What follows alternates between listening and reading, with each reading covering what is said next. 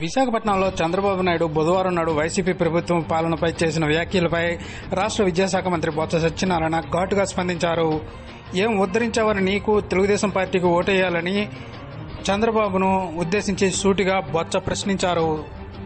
ఇప్పుడు ఆంధ్రప్రదేశ్ భారతదేశం అంతా నెంబర్ వన్గా వచ్చి కొనియాడుతున్నాం నేపథ్యం. ఎందుకు వచ్చింది కదా? నేను నేనే వచ్చి దోపిడీని మధ్య దళాల్లో పెట్టి అవకాశం వచ్చింది మా ఇంటికి ఏం వస్తా మీ ఇంటికి వస్తే వస్తా తెస్తావు అని చెప్పే రకంగా తయారు చేయమంటావు ప్రభుత్వాన్ని ఇవన్నీ చేస్తుంటే ఊరుగా ఎంతసేపు అసలు నువ్వు చేసిన పనేంటి ఎందుకు వేస్తాను నీ కోర్టు ఎందుకు వేయాలి నీ కోర్టు ఎందుకు తెలుగుదేశం పార్టీ ఏం ఉద్ధరించిందని తెలుగుదేశం పార్టీకి చంద్రబాబు చేయాలి?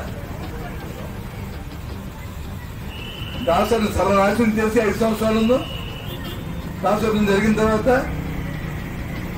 దిక్కుమార్గం తెలిసి ఒక పక్క అప్పులు చేసి తీసుకొచ్చి అప్పులు పెడుతుంటే ఇవాళ మళ్ళీ మళ్ళీ మాకు వచ్చి ఇవాళ వచ్చి అప్పులు చేసేస్తున్నాం అప్పు అప్పులు అప్పులు చేసినా అప్పులు తీసుకుని బాధ్యత ఈ రాష్ట్రంలో అమలు లేదు. ఇది ఒక కంటిన్యూస్ ప్రాసెస్ ఏదో మాట్లాడిస్తే మైక్ పట్టుకుంటే అమ్మ దిక్కులని నిజాలను ప్రజలు అమ్ముతారు అనుకుంటున్నా అమ్మాయికి అనుకుంటారా? చంద్రబాబు నాయుడు నీ తాలూకా పని అయిపోయింది.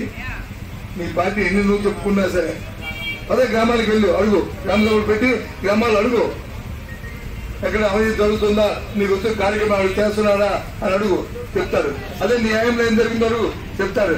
నీ భాగవతం ఏంటో గ్రామాల్లో. మీ కార్యకర్త భాగవతం ఏంటో గ్రామాల్లో చెప్తారు. మా మా మమ్మల్ని మాట నీ మైకిల్ దగ్గర కాదు మాట్లాడటం నువ్వు అడుగు. నువ్వు కాకపోతే నీ నీ మనుషులు అనుమానం. అనుమాన ధైర్యం నీకు ఎరగలేదు ఎంతసేపు తొమ్మిదో పిలిపి నాలుగు జంక్షన్లో వచ్చి ఓ పెట్టుకుని మాట్లాడడం తప్ప. లోకల్ వార్తల వీడియోల కోసం పబ్లిక్ వెబ్ యాప్ డౌన్లోడ్ చేసుకోండి.